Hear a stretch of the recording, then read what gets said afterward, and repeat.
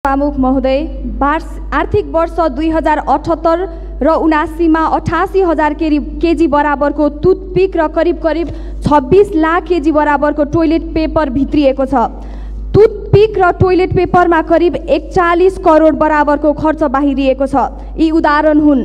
टुथपेस्टदेखि स्याम्पूसम्म मोबाइलदेखि कारसम्म हुँदाहुँदा चामलसम्म आयात। आन्तरिक उत्पादन बढाउन राज्यले के कस्तो नीति बनाएका छन्? ती कुराहरू अङ्कमा देखिने गरी किन लागू भएनन्? समीक्षा गरी आङ्किक सुधार हुने गरी नीति ल्याउन छलफल चलाउन सभामुख सभामुख मार्फत सरकारको ध्यान आकर्षण गराउन चाहन्छु। त्यस्तै म सदनमा बसिरहेको कुर्सी कुन देशबाट आयात भएको हो कि नेपालमा नै बनेको हो? कुर्सीका लागि कुन झगडा हुने जुन झगडा हुने गरेको छ प्रधानमन्त्री सभामुखको कुर्सी त्यो कुन देशबाट आयात भएको हो? सभामुख महोदय सिंहदरबार बालुवाटार शीतल निवास र यो सदनको क्षेत्रलाई आत्मनिर्भर घोषणा गरौँ। यहाँ प्रयोग हुने कुर्सीदेखि माइकसम्म कलमदेखि कापीसम्म सबै नेपाली प्रयोग गर्नका लागि सभामुख मार्फत सरकारको ध्यान आकर्षण गराउन चाहन्छु। धन्यवाद।